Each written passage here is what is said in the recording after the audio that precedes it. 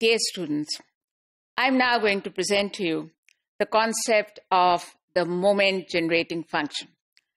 A very, very important concept, and I would like to request you to pay full attention. I'm going to present it in a formal manner. I'm going to define it for you. Let's see how it goes. Let x be a random variable such that for some h greater than 0, the expected value, the expectation of e raised to tx exists, where t itself is lying in the interval minus h to h. The moment generating function of x is exactly this ex expectation. The MGF is uh, denoted by capital M of t, and it is given by the expected value of e raised to tx, where t lies between minus h and plus h. अच्छा ये definition मैंने आपको दे दी अब इसमें थोड़ी सा थोड़ी सी चीज़ें देखिए पहली चीज़ ये देखिए कि ये जो हमने कहा था कि is a random variable such that for some h greater than zero, this particular expectation exists. तो इसमें ये नोट करें कि जो सम एज हम कह रहे हैं ना एक्चुअली इसका मफहम ये है कि h can be arbitrarily small so असल में वो जो टी है ना, जिसके लिए हम कह रहे हैं कि it lies between minus h and plus h actually if h is a very very small number then t is very very close to zero t is actually in the neighbourhood of zero आपने कई दफ़ा अगर किताबों में ये concept पहले पढ़ा है तो आपने ये अल्फाज ज़रूर पढ़े होंगे कि t is in the neighbourhood of zero अच्छा जी, इसके बाद अगली बात जो है बहुत इंपॉर्टेंट उस पर गौर कीजिए। वो ये है कि why is this particular expectation called the moment generating function ये जो तीन लव्स हैं, जरा इन पर गौर कीजिए। मोमेंट जनरेटिंग फ़ंक्शन यानी it is a function which generates moments and this is actually absolutely correct एक तरीका इन मोमेंट्स के हासिल करने का through the M G F ये है कि आप अपना एम जी एफ़ पहले उसका एक्सप्रेशन डिराइव करें। उसके बाद you take the first derivative of your MGF वो जो भी एक्सप्रेशन आया है, उसका फ़र्स्ट डेरिवेटिव ले लें और उसके बाद इवेल्युएट करें उसको at t equal to zero यानी उसके अंदर जहाँ पे भी टी आ रहा है, वहाँ पे आप उसको टी को ज़ीरो पुट करें और उसके बाद जो आपका रिज़ल्ट जो आएगा students that is going to be the expected value of x that first derivative gives you the first moment about 0. The expected value of x raised to 1 yeah, the expected value of x yani the mean of the distribution. Okay, अब अगला देखें पहला derivative लिया और उसको zero T को zero रख के इवेल्युएट कर लिया वो जो पहला डेरिवेटिव लिया था if you take an another derivative यानी उस डेरिवेटिव का derivative that is the second derivative second derivative का जो एक्सप्रेशन आए उसके अंदर आप टी को ज़ीरो रख के उस, उसका निकालें आंसर तो अब जो चीज़ आपको मिलेगी that is the second moment about zero the second moment about the origin so this is why this particular function is called the moment generating function क्योंकि इस तरह से मोमेंट uh, ही तो जनरेट हो रहे हैं। मोमेंट जनरेट होने का एक और तरीका भी होता है लेकिन वो मैं इस वक्त डिस्कस नहीं करूँगी।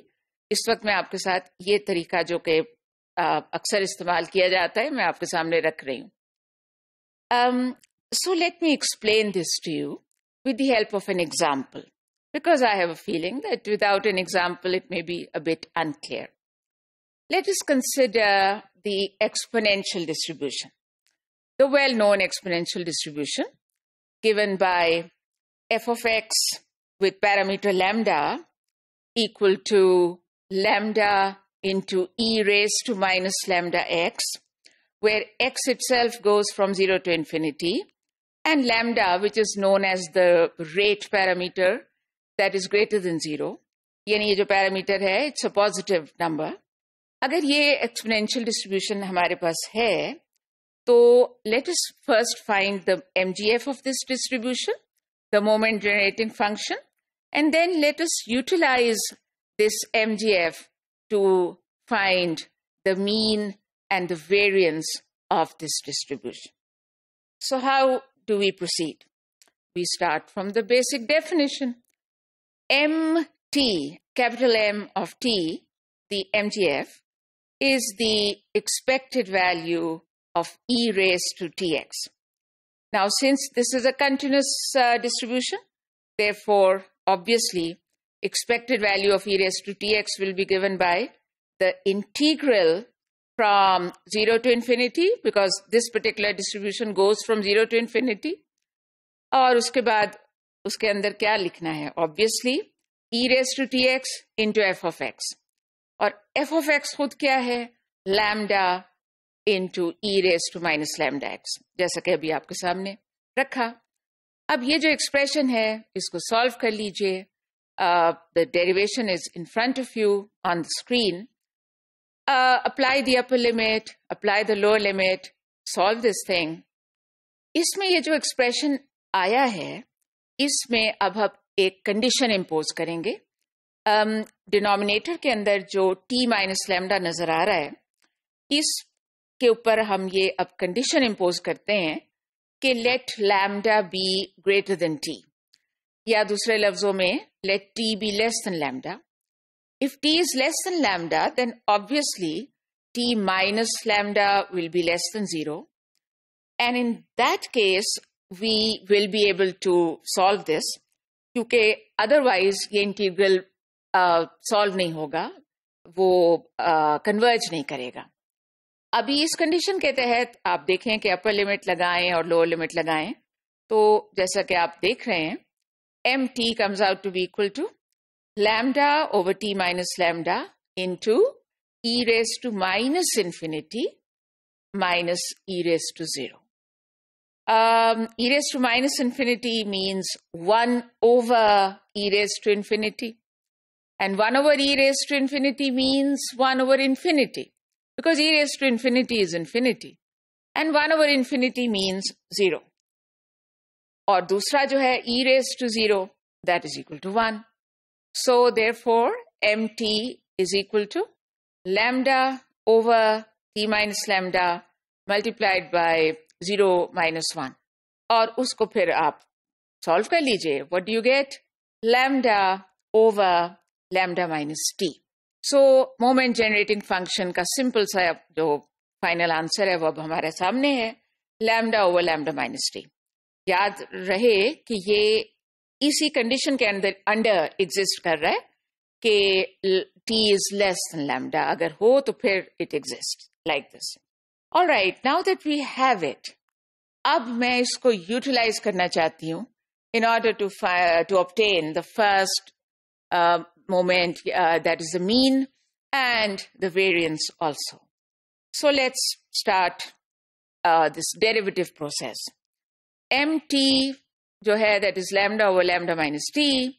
So m dash t yani first derivative of mt d by d t of lambda o lambda minus t जैसा कि आपके सामने है इट्स सिंपल डेरिवेशन इसका आंसर क्या आता है lambda over lambda minus t whole और राइट ये हमारा फ़र्स्ट डेरिवेटिव आ गया है। इसमें अब अगर हम टी को ज़ीरो रखें, यानी इस डेरिवेटिव को हम इवेल्युएट करना चाहते हैं at t equal zero what do we get we get m dash 0 equal to lambda over lambda minus 0 whole square यानी दूसरे लफ्जों में lambda ओवर lambda square, यानी 1 over lambda. So this is well known ये तो well well known है कि one over lambda जो होता है जो है that is the mean of the exponential distribution given by that expression which I have initially given जो उसका पीडीएफ मैंने आपके सामने रखा है। उसके तहत तो सबको पता है कि इसका मीन होता ही है वन ओवर लैमडा सो फिर ये अप्रूव हो गया ना कि एमजीएफ के रूट से भी अगर हम आए और जैसा कि बताया कि डेरिवेटिव लेके टी को ज़ीरो पुट करें तो वो जो रिज़ल्ट आएगा that will be equal to the mean अब इसके बाद लेट्स कंसिडर द वेरिएंस हम यानी वेरिएंस की तरफ़ जाना चाह रहे हैं। तो कैसे जाएँगे? हम शॉर्टकट फॉर्मूला अप्लाई करेंगे वेरिएंस का।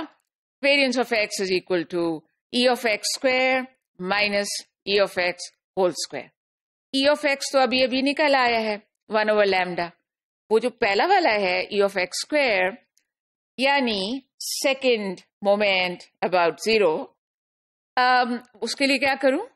अभी थोड़ी देर पहले बताया था कि अब सेकेंड डेरिवेटिव ले लीजिए, और फिर उसमें टी को ज़ीरो रख दीजिएगा। तो let's do it m double dash t is d by d t of d by dt of m of t. Any first derivative derivative ka derivative and then what do we have? It's a simple derivation once again. And what is the final result? This second derivative comes out to be 2 lambda over lambda minus t cube.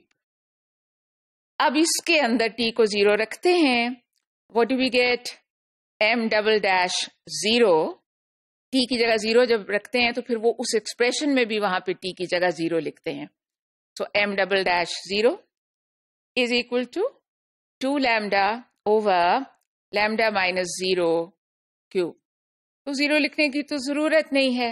Two lambda over lambda cube तो ज़ाहिर है वो cut जाएगा and we get two over lambda square ये क्या चीज़ हमें मिली है students this is the second moment about zero यानी expected value of x square all right shortcut फॉर्मूले में फिर अब डाल देते हैं।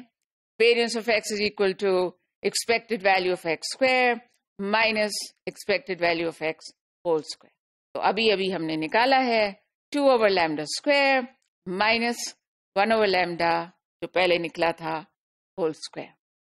So 2 over lambda square minus 1 over lambda square that is equal to 1 over lambda square. And students, this too is a well-known result. Everybody knows who are working in this area that the variance of the exponential distribution given by f of x is equal to lambda into e raised to minus lambda x, the variance of this distribution is equal to 1 over lambda square. यानी अगर आप variance को directly भी derive करें ना MGF के root के through ना आए उस तरह सीधा उसके डेफिनेशन से आप उसको डिराइव करें तो यही रिज़ल्ट आता है so this was uh, an example to put forth to you the important role of the moment generating function in finding the moments of any distribution.